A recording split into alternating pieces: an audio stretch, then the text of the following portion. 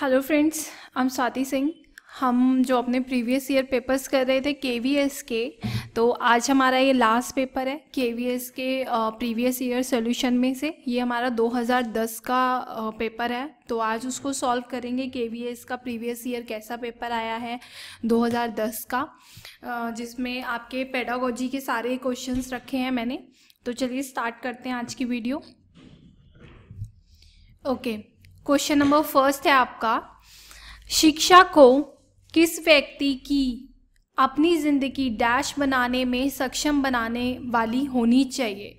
जो आपकी एजुकेशन है, वो किसी भी व्यक्ति की ज़िंदगी में क्या चीज़ महत्वपूर्ण रखने के लिए होनी चाहिए?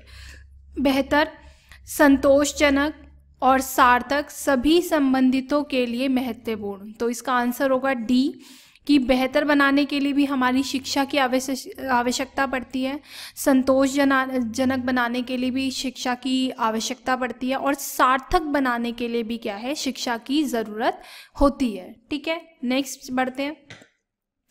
वर्णमाला की पहचान, जो आपके हिंदी की वर्णमाला होती है, क, ख, घ, च, ये सब, डैश वर्ष की आयु में शुरू हो जाती है। बच्चे के में किस आयु में क्या है जो वर्णमाला की पहचान है, वो शुरू हो जाती है। वो हो जाती है आपकी छः वर्ष की आयु के अंदर, ठीक है? नेक्स्ट जब बच्चे खेल समूहों में भाग लेते हैं, तब वे क्या सीखते हैं? जब बच्चे कोई भी ग्रुप में जब खेलते हैं ग्रुप के अंदर तो वो क्या चीज़ें सीखते हैं? प्रतिस्पर्धा यानी कि कंपटीशन सहयोग, एक दूसरे को सपोर्ट करना, संघर्ष या हार्डवर्क करना तो ये सभी, ठीक है? जब बच्चा एक खेल ग्रुप के अंदर रहता है तो ये सारी चीज़ें कैपेबिलिटीज़ और क्वालिटीज़ जिसे हम कह सकते हैं, वो बच्चे के अंदर डेवलप होती चली जाती हैं। ठीक है नेक्स्ट मनोविज्ञान समानतः मानव डैश से संबंधित है। जो हमारा साइकोलॉजी है, वो मानव किस चीज़ से संबंधित है? मानव की किस चीज़ से संबंधित है? भावनाओं से, विचारों से, आचरण से, ये सभी। तो इसका आंसर है डी, ये सभी कि भाव जो मनोविज्ञान है, वो हमारी भावनाओं के बारे में भी हमें बताता है, विचारों के बारे में भी बताता है और हमारे कैरेक्टर यानी कि आचरण के बारे में भी हमें बताता है। बच्चे, संकल्पनाओं और उन्हें लेबल देने के बारे में किस प्रकार सीखते हैं? जो संकल्पनाएँ होती हैं बच्चे के दिमाग में, मस्तिष्क में, उसके बारे में लेबल देने के लिए बच्चे किस प्रकार से सीखते हैं? भौतिक जगत के साथ सीधे संपर्क करने से, सामाजिक परिस्थितियों से जहाँ सीखने की प्रक्रिया में भाषा की कोई भूमिका नहीं होती ऑप्शन सी, सामाजिक परिस्थितियों से जहाँ भाषा की एक निश्चित भूमिका होती है। उपयोग ऑप्शन डी उपयुक्त सभी। तो इसमें आपका ऑप्शन आता है सी, सामाजिक परिस्थितियाँ जहाँ भाषा की एक नीच सीखने की क्या है, निश्चित भूमिका होती है। ठीक है? नेक्स्ट, भाषा विज्ञान है। भाषा विज्ञान को क्या माना है? भाषा का उद्गम माना है, भाषाओं के बीच का संबंध माना है। इसका विवरण कि समय के साथ भाषाएँ कैसे बदलती हैं, ये माना है। उपयुक्त सभी।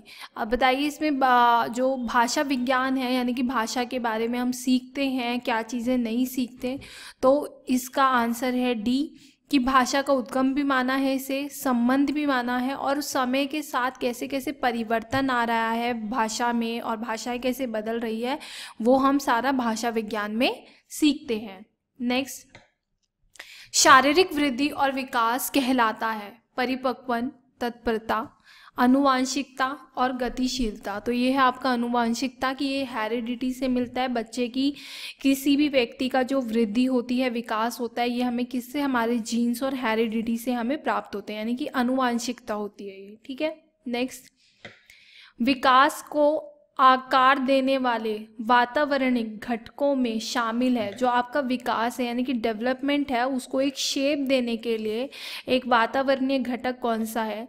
हमारी संस्कृति, पोषण की गुणवत्ता, पढ़ाई की गुणवत्ता, ये सभी। तो हमारी पोषण की गुणवत्ता, जितना अच्छा पोषण होगा, उतना अच्छा बच्चे का विकास होगा क्या वो फिजिकली हो मेंटली हो इमोशनली हो। ठीक है? नेक्स्ट बढ़ते हैं। प्रेरणा आमतौर पर डैश के बाद होनी चाहिए। जो बच्चे को प्रेरणा देनी चाहिए, वो किसके बाद देनी चाहिए आमतौर पर? पारितोषिक के बाद, प्रोत्साहन के बाद, नतीजे की जानकारी के बाद या दंड के बाद? तो ये देनी चाहिए प्रोत्साहन के बाद। नेक्स्ट एक क्लास मॉनिटर चुनने का क्या मापदंड होना चाहिए? आप अपनी क्लास में कोई मॉनिटर का चुनाव कर रहे हैं कि एक बच्चे को मॉनिटर बना दिया जाए तो क्या चीज़ों को ध्यान में रख के क्या है आप मॉनिटर का चुनाव करेंगे?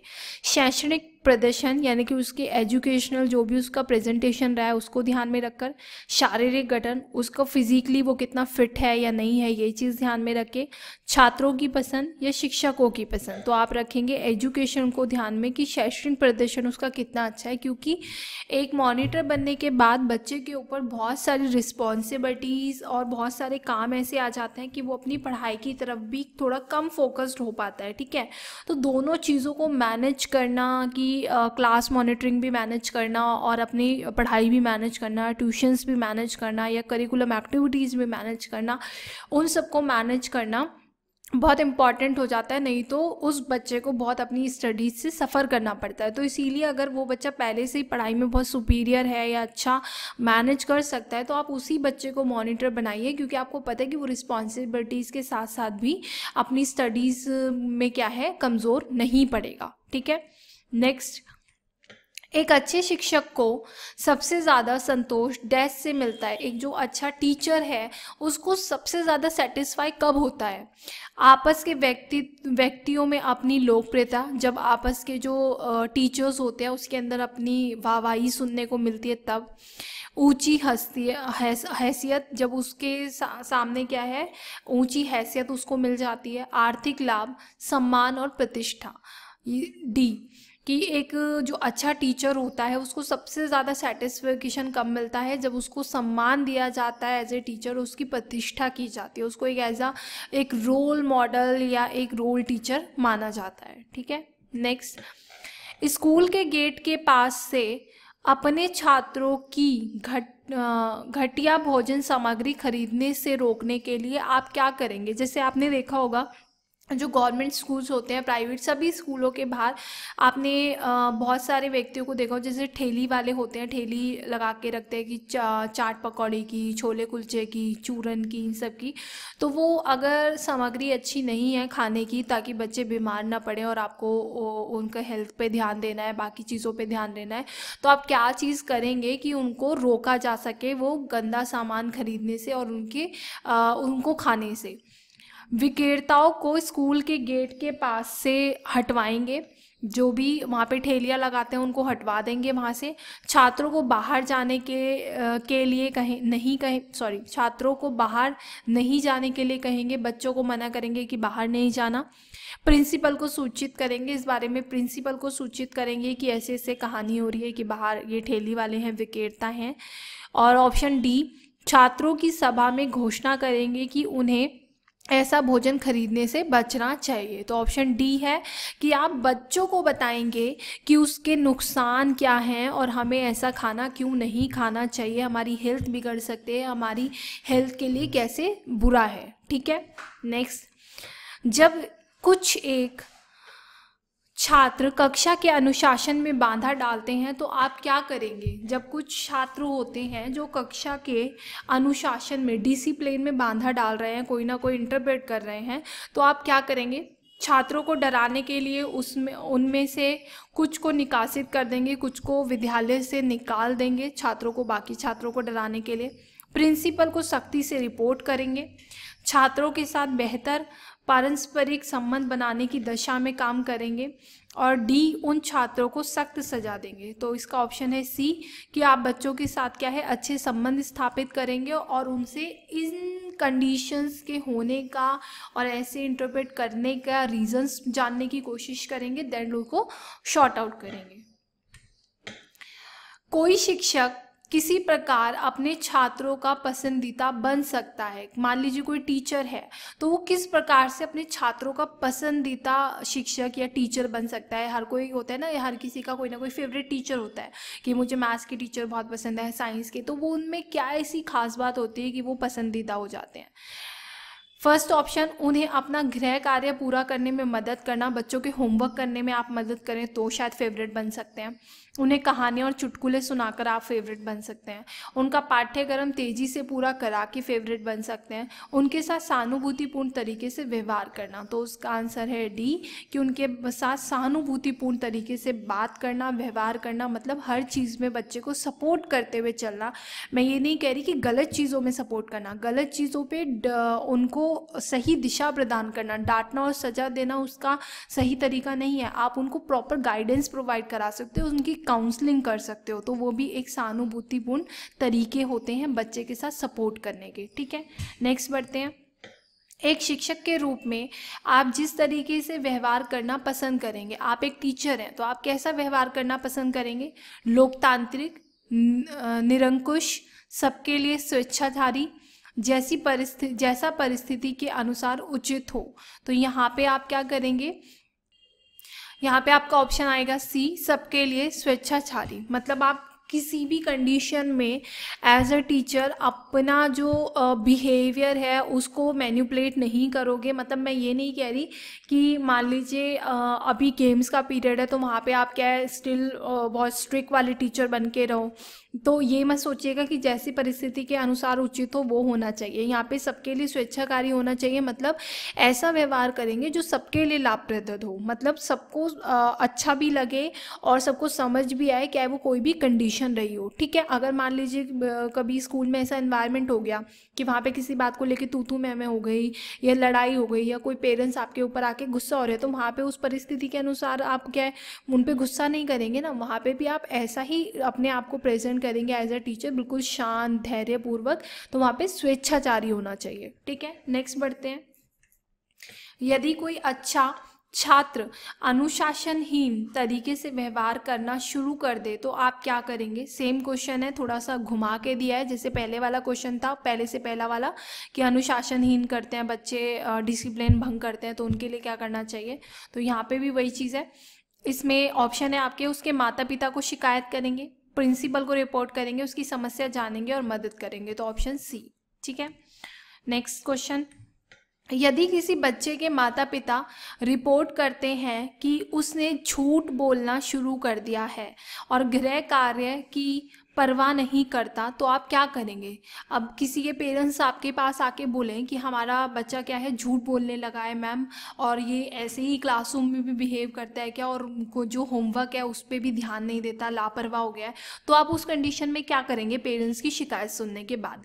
कक्षा के सामने उसकी पोल खोलेंगे और उसे अपमानित करेंगे। उस बच्चे के प्रति ज़्यादा सतर्क रहेंगे और उसे परामर्श देंगे। कुछ खास परवाह कुछ खास परवाह नहीं करेंगे क्योंकि माता पिता को इस बारे में पहले से पता है और डी है बच्चे को दंडित करेंगे, ठीक है? तो आपका सी ऑप्शन भी नहीं होगा। सी यहाँ पे आपका ऑप्शन होगा बी उस बच्चे के प्रति प्रति ज़्यादा सतर्क रहेंगे और उसे परामर्श देंगे। मतलब उस बच्चे के बारे में सतर्क रहना मतलब आप उस बच्चे को नोटिस करते रहेंगे टाइम टू टाइम और उसको ध्यान में रखेंगे अपने और उसे टाइम टाइम पे क्या है, परामर्श यानी कि काउंसलिंग उसकी करते रहेंगे। ठीक है? नेक्स्ट बढ़ते हैं। किसी अच्छे शिक्षक की प्रशंसा के लिए सबसे उपयुक्त किस बात को माना जाता है? एक शिक्षक की आप उसको अप्रिशिएट कर रहे हैं या तारीफ़ कर रहे हैं तो आप कैसे तारीफ़ करना चाहेंगे? आपका समाज है, कैसे करेगा?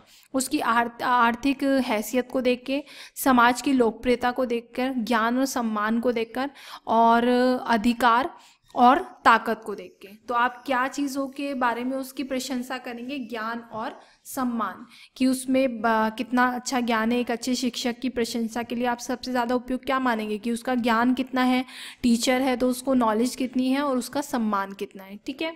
नेक्स्ट बढ़ते हैं। प्रारंभिक शिक्षक को किस बात को ऊँची प्राथमिकता देनी चाहिए, जो प्रारंभिक शिक्षक होते हैं, जो आपका प्राइमरी टीचर होते हैं पी पी आर टीचर होते हैं तो उनको किस बात पे प्राथमिकता पहले देनी चाहिए? माता पिता के साथ बातचीत पर साथी शिक्षकों को समझने पे, समुदाय को समझने में या बच्चों को समझने में? तो ऑप्शन डी ऑफ़ कोर्स कि बच्चों को समझने पे ज़्यादा प्राथमिकता देनी चाहिए।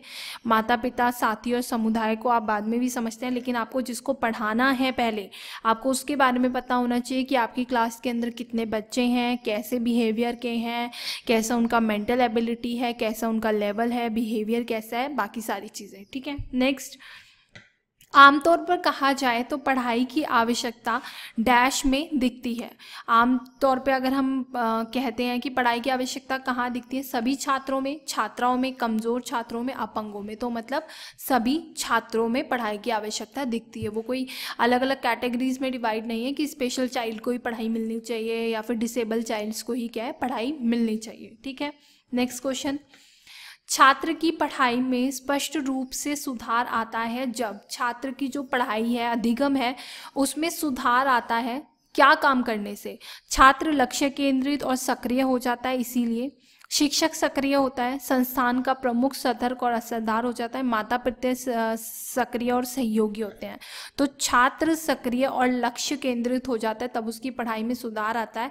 अब जैसे आप हैं, आपको पता है कि आपको के के लिए क्या है प्रिपेयर करना है। तो आपको अपना लक्ष्य पता ही है पहले से तो जितना लक्ष्य पता होगा, आप इसके लिए उतना हार्डवर्क करेंगे, उतनी मेहनत करेंगे, पढ़ाई करेंगे। तो जब बच्चे को लक्ष्य मिल जाता है तो वो और उतना एक्टिव हो जाता है अपनी पढ़ाई में सुधार करने के लिए, ठीक है? नेक्स्ट वन्य जीवन पर कोई पाठ पढ़ाने के लिए निम्नलिखित में से कौन सी विधि सामग्री सबसे उपयुक्त है? आपको वन्य जीवन के बारे में पाठ पढ़ाना है, यानी कि जो बच्चे का इन्वायरमेंटल स्टडीज़ है और ये सारी चीज़ें साइकिल है इन्वायरमेंटल उसके बारे में पढ़ाना है तो उसके लिए आप करेंगे दौरा। ठीक है? नेक्स्ट व्यक्तिगत ध्यान। शिक्षा डैश के लिए वाचनीय मानी जाती है, जो व्यक्तिगत है मतलब जो एक किसी को आप पर्सनल टीचिंग दे रहे हैं, किसी को पर्सनली ध्यान में रख के टीचिंग करवा रहे हैं तो वो किसके लिए? सभी छात्रों के लिए धीरे धीरे सीखने वालों के लिए, बुद्धिमान और प्रतिभावान के लिए। तो ऑप्शन डी कि धीरे जो छात्र सीखते हैं, आप उनको पर्सनल टीचिंग कर सकते हैं और बहुत ज़्यादा स्पेशल सुपीरियर चाइल्ड होते हैं, उनके लिए आप क्या है व्यक्तिगत रूप से उन पर ध्यान दे सकते हैं। नेक्स्ट निम्नलिखित में से कौन सा वह मुख्य कारण है जिससे छात्र स्कूल से भाग जाते हैं? जो ड्रॉप आउट्स होते हैं, किन रीज़न से बच्चे क्या है, स्कूल से भाग जाते हैं? रोचक शिक्षण विधियों की कमी होना, शिक्षकों का छात्रों के प्रति कठोर रवैया होना, छात्रों की पढ़ाई में रुचि की कमी होना, छात्रों के घरों से स्कूल की दूरी होना। तो इसका आंसर है ए, रोचक शिक्षण विधियों की कमी होना। इसी कारण से बच्चों का स्टडीज़ के प्रति क्या है, इंटरेस्ट डेवलप नहीं हो पाता और ड्रॉप आउट्स ज़्यादा होते हैं। Next question. आपकी राय में छात्र संगठित करने का क्या प्रभाव है? एक छात्र जो संगठित बनाया जाता है, उसको क्यों बनाया जाना चाहिए? यह अनुशासनहीनता को बढ़ावा देता है, छात्रों का समय बर्बाद करता है, छात्रों में नेतृत्व की भावना विकसित करता है। आंसर सी, कि वो क्या है? कोई भी आप जितना ग्रुप बनाएँगे बच्चों के लिए तो बच्चों में वो लीडरशिप की भावना क्या है? विकसित करेगा। ठीक है? नेक्स्ट। किसी क्रियाकलाप के माध्यम से छात्र आसानी से क्यों सीखते हैं? कोई भी एक्टिविटी आप बच्चों को करवा रहे हैं तो बच्चे क्यों सीखेंगे क्रियाकलाप से? क्रियाकलाप सर्जनात्मक होता है क्रिएटिव होता है, रोचक होता है मतलब इंटरेस्टिंग होता है। क्रियाकलाप में शारीरिक कार्य शामिल किया जाता है, इसलिए बच्चे सीखते हैं। क्रियाकलाप छात्र द्वारा खुद किया जाता है। ऑप्शन डी कि छात्र द्वारा खुद किया जाता है, वो डूइंग बाय लर्निंग होती है तो इसलिए बच्चे उसमें ज़्यादा इंटरेस्ट लेते हैं और आसानी से सीखते हैं। नेक्स्ट क्वेश्चन छात्र डैश से ज़्यादा सीखते हैं, करने से, देखने से, पढ़ने से, सुनने से। इसका ऑप्शन है ए, करने से। जितना बच्चे करेंगे लर्निंग बाय डूइंग उतना अच्छा सीखेंगे। नेक्स्ट छात्र आमतौर पर वैसे शिक्षक के प्रशंसक होते हैं जो छात्रों को अच्छे अंक के साथ पास करे। जो शिक्षक है, वो कैसे मतलब बच्चों को क्या है कैसे शिक्षक ज़्यादा पसंद आते हैं, जो छात्रों को अच्छे अंक दे। बच्चों को अपने छात्रों को डरा, डराता हो, डराता नहीं हो। ऑप्शन बी अपने छात्रों को डराता नहीं हो। ऑप्शन सी छात्रों की ज़रूरतों को समझता हो। ऑप्शन डी सभी छात्रों के साथ दोस्ताना व्यवहार करता हो। तो ऑप्शन सी इसका आंसर है कि छात्रों की ज़रूरतों को समझता हो, उनकी नीड्स को और उनकी आवश्यकताओं को एज अ टीचर समझता हो कि उनकी क्या नीड्स है, उनको किस चीज़ की ज़रूरत है, जिससे उनकी लर्निंग हो सके या वो अपना डेवलप कर सकें। ठीक है नेक्स्ट छात्रों में संवेदना का गुण विकसित करने के लिए शिक्षक को क्या करना चाहिए? बच्चों के अंदर संवेदना का गुण करना विकसित करना है। तो एज अ टीचर क्या रिस्पॉन्सिबिलिटी बनती है? वह उन्हें दयालु व्यक्तियों का आचरण दिखाए, वह उन्हें महत्व के बारे, उनके महत्व के बारे में बताए। सी संवेदना से जुड़ी शैक्षिक गतिविधियों की स्कूल में व्यवस्था करें। डी इस बारे में अनेक उदाहरण दें। तो आंसर आपका सी, कि संवेदना से जुड़ी शैक्षिक गतिविधियों यानी कि एजुकेशन एक्टिविटीज़ को स्कूल में इन्वॉल्व करें और बच्चे को सीखने के मौके दिए जाएँ। Next question. व्यस्क शिक्षा डैश के नियंत्रण के अधीन होनी चाहिए। जो एक व्यस्क शिक्षा होती है वो किसके अधीन होनी चाहिए? सरकार, शिक्षित व्यक्तियों के, गैर सरकारी संगठनों के, ये सभी। तो इसका आंसर है ये सभी। निम्नलिखित में से किसे आप स्कूलों में बढ़ती अनुशासनहीनता का एक प्रमुख कारण मानते हैं? स्कूलों में जो अनुशासनहीनता बढ़ रही है, उसका एक प्रमुख कारण क्या है? छात्र संघों का प्रभाव, असरदार मार्गदर्शन की कमी, राजनीतिक हस्तक्षेप माता पिता और अभिभावकों की दखल अंदाजी तो इसका आंसर है बी, असरदार मार्गदर्शन की कमी। जो बच्चे का प्रॉपर मार्गदर्शन नहीं कर पा रहे हैं, उसकी कमी बहुत हो रही है, ठीक है? नेक्स्ट पढ़ाई को बढ़ावा देने में निम्नलिखित में से क्या सबसे महत्वपूर्ण है? अगर आपको बच्चे के लर्निंग को इफ़ेक्ट करना है या उसको बढ़ावा देना है कि बच्चे सीखें तो क्या चीज़ क्या है? बच्चे के लिए सबसे ज़रूरी है। विस्तृत और अट्ठे अच्छी पाठ्य पुस्तकें ज़रूरी हैं। चिंतित माता पिता ज़रूरी हैं जो उनके पढ़ाई के बारे में सोच विचार करें। व्यवस्थ व्यस्त स्कूल कार्यक्रम, व्यस्त स्कूल कार्यक्रम होना चाहिए और पढ़ाई का प्रेरणादायक माहौल। तो ऑप्शन है इसका डी कि पढ़ाई का प्रेरणादायक माहौल होना बहुत ज़रूरी है जिससे कि बच्चे सीखते हैं। नेक्स्ट अच्छा शिक्षक वह होता है जो एक अच्छा शिक्षक, एक अच्छा टीचर किसे कह सकते हैं? सख्त अनुशासन बनाए रखता है, वो एक अच्छा टीचर है। छात्रों को अच्छे अंक पाने के तरीके सिखाता है, वो एक अच्छा टीचर है। रोचक तरीके से पढ़ाता है ताकि बच्चों को पढ़ाई में मज़ा आए, वो एक अच्छा टीचर है, कभी छुट्टी नहीं लेता। तो इसका आंसर है सी, कि रोचक, इंटरेस्टिंग वे में पढ़ाता है ताकि बच्चे पढ़ाई में इंटरेस्ट लें। ठीक है, नेक्स्ट।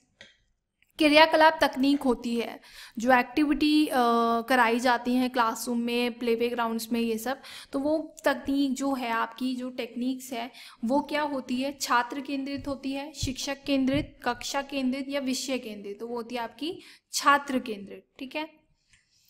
140 और उस, इससे ऊपर के स्तर का आईक्यू रखने वाले व्यक्ति डैश के रूप में जाना जाता है। तो किसके रूप में जाना जाता है? विलक्षण, श्रेष्ठ, अत्यंत बुद्धिमान, इनमें से कोई नहीं। तो वो होते हैं अत्यंत बुद्धिमान। कुछ सीखने और सीखी गई बातों का प्रयोग में लाने की प्रक्रिया डैश के रूप में मानी जाती है। जो आप कुछ सीख चुके हैं पहले और सीखी गई बातों को क्या है, दोबारा से किसी नई चीज़ में लेकर आ रहे हैं, उनका प्रयोग कर रहे हैं तो उसको क्या कहा जाता है? सहयोग, आत्मसात्यकरण, संघर्ष या रटना तो उसको कहा जाता है आत्मसात्यकरण। नेक्स्ट क्वेश्चन प्रतिभाशाली छात्र जो आपके गिफ्टेड या सॉरी जो सुपीरियर बच्चे होते हैं गिफ्टेड चाइल्ड होते हैं, वो कौन से होते हैं? टैलेंटेड बच्चे। टैलेंटेड बच्चे कौन से होते हैं?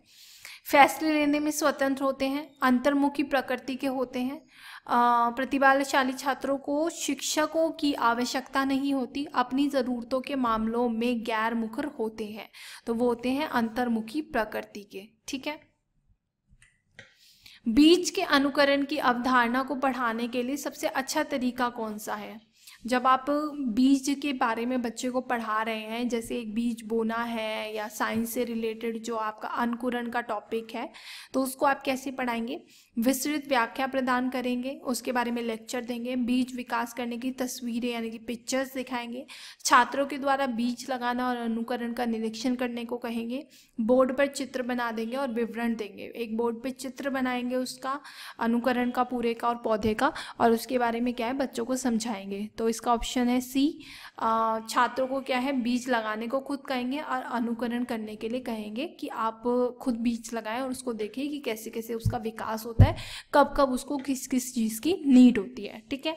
नेक्स्ट विकास डैश से शुरू होता है। बचपन काल के पूर्व, प्रसव काल के पूर्व बचपन काल की अवस्था, बचपन काल के बाद। तो ये शुरू होता है प्रसव काल के पूर्व। जो बच्चे का एक विकास है, वो माँ की जो गर्भ होता है, उसी के अंदर शुरू हो जाता है। तो यानी कि प्रसव काल, डिलीवरी से पहले ही उसका विकास होने लग जाता है बच्चे का। नेक्स्ट दृश्य श्रव्य और शारीरिक गतिविधियों। गतिविधियाँ। एक शिक्षक को शिक्षण में मदद करती हैं क्योंकि वे, जो आपकी ऑडियो विजुअल एड्स हैं और जो एक्टिविटीज़ कराई जाती हैं शारीरिक रूप से, वो एक शिक्षक को शिक्षण में, यानी कि टीचिंग में कैसे हेल्प करती हैं? क्योंकि वे शिक्षार्थियों की दिशा प्रदान करते हैं, शिक्षक को राहत प्रदान करते हैं, इंद्रियों का अधिकतम उपयोग करके सीखने में सहयोगी होते हैं, प्रभावी मूल्यांकन की सुविधा प्रदान करते हैं। तो ऑप्शन सी कि इंद्रियों का अधिकतम उपयोग करके क्या है, सीखने में सहयोगी होते हैं। कि बच्चे क्या है, आप उसके अंदर ऑडियो विजुअल एड्स भी यूज़ कर रहे हैं, यानी कि बच्चे का सॉरी बच्चे का दृश्य और श्रव्य सामग्री, यानी कि वो सुन भी रहे हैं, देख भी रहे हैं और फ़िज़िकल एक्टिविटीज़ भी कर रहे हैं। तो उसकी क्या इंद्रियाँ, यानी कि सेंसेस एक्टिव हैं तो वो उसके द्वारा क्या है, सीखने में सहयोगता प्रदान कर रहे हैं, ठीक है? तो आज इसमें हमने ये 150 तक के क्वेश्चंस डिस्कस कर लिए। ये हमारे के के 2010 के थे। आपने एक चीज़ नोटिस करी होगी इसमें कि काफ़ी क्वेश्चंस क्या थे? बार बार रिपीट हुए। जब देखिए आप वीडियो देखिएगा 2013 2015 और एच की भी और ये वाली भी 2010 की भी बहुत से तीन से चार क्वेश्चन हैं जो बार बार रिपीट हुए हैं। तो आप सोच सकते हैं कि प्रीवियस ईयर क्वेश्चन में से भी जो हम डिस्कस कर रहे हैं और उससे अलग भी आप प्रैक्टिस सेट पेपर्स करते हैं, बाकी चीज़ें तो वो कितने हेल्पफुल हैं कि आपके तीन से चार नंबर तो सीधे यहीं से खड़े हो जाएँगे, क्योंकि आपको आंसर्स डायरेक्ट क्या है प्रीवियस ईयर से मिल जाते जाते हैं, ठीक है? तो इसीलिए प्रीवियस ईयर करना भी बहुत ज़रूरी होता है। उसके अलावा भी आप प्रैक्टिस सेट पेपर्स भी करिए अपनी प्रैक्टिस के लिए, क्योंकि उसमें भी आपकी स्किल्स बहुत अच्छी हो जाएँगी। आपको पता चलेगा कि क्वेश्चन को कैसे मैनिपुलेट किया जाता है, कैसे मॉडरेट किया जाता है, ताकि आपको वहाँ पे उस टाइम पे क्या है, किसी भी क्वेश्चन को समझने में इतना ज़्यादा टाइम नहीं लगेगा, ठीक है? तो all the best for your exams और अभी आज की वीडियो फिनिश करते हैं इसी के साथ। Thank you so much for watching this video thank you.